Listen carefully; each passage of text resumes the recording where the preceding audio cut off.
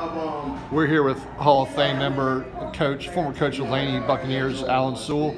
Coach, how you doing this weekend? Doing great. Enjoying a lot of good wrestling. Take us back when you came into Laney in '84 and kind of how you built the foundation to what Laney has now, because it, it what you laid the foundation for has never really stopped. It kind of you built the program in '84 and on. Talk, talk us through that process.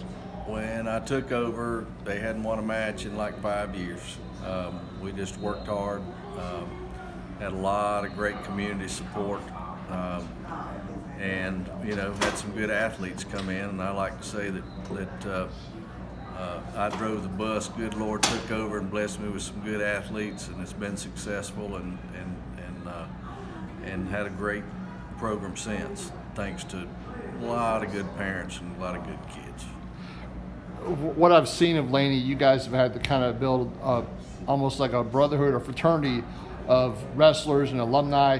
How how are you able to do that, build that culture within the Laney program?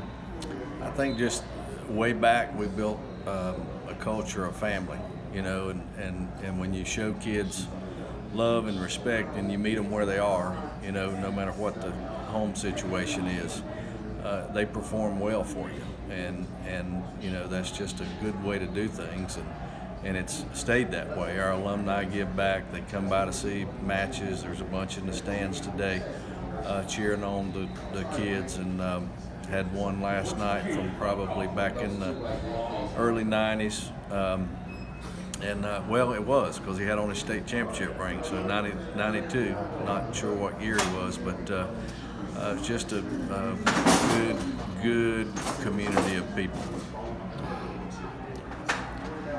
The every year um, Laney is successful, and now uh, Coach Adams has taken over. How was he one of your wrestlers when you were coaching? Was no, he wrestled at UNC Pembroke, uh, and if you've been around a while, you know that you know UNC Pembroke and have an education program and App State having an education program.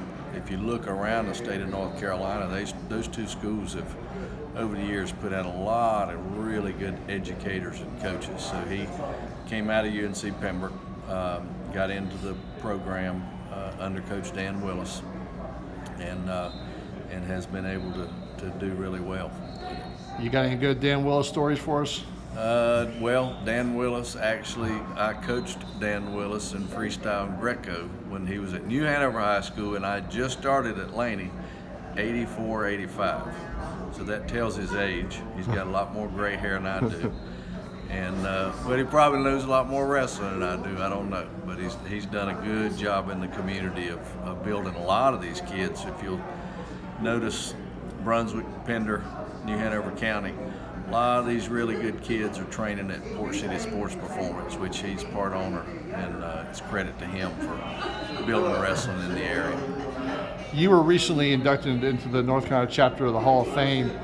Tell us a little bit about that. What, what did that What did that mean to you? Uh, caught me by surprise. Uh, very humbling. Uh, nothing I ever expected, and um, uh, just uh, you know really, um, I don't know. It, it, was one of the best days of my life. My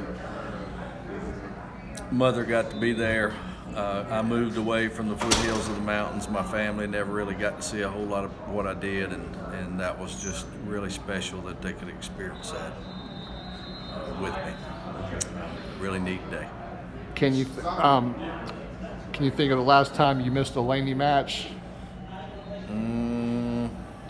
No, I I can't. Uh, I did miss regionals last weekend because I was in Virginia watching my son coach. Because he's a head coach at Fairfax High School. So, um, yeah, I gotta gotta go back to war when I can. So is your son now? He's the does he also do the club up he in? He does the Nova Wrestling okay. Club. He started all that. He's built all that, and um, uh, he's in the state tournament today. Last I checked, he had one hopefully going into the finals, and, and uh, he's done a good job building that program there and wrestling in the area. I know you're not coaching anymore, but um, if there was one rule in wrestling you could change, what would it be? The whirly bird.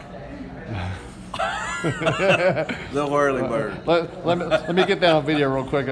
Get rid of the whirly bird. Don't let them get out of being pinned. Yeah. Um, last question. Um, if you could give a piece of advice to a young coach, any what advice would you give to a young coach? Treat every kid like they're your best kid on the team. Love them, respect them, learn their community, learn their home life, build a culture of love and respect, and the winning will come. It might not in wins and losses the way everybody wants in a state championship, but it will in life. Okay.